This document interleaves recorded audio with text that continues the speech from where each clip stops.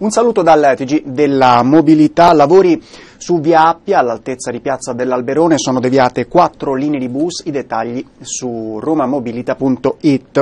Manifestazioni in città nel pomeriggio tra le 14.30 e le 18 è previsto un sit-in di protesta a Piazza del Popolo sulla crisi all'Italia.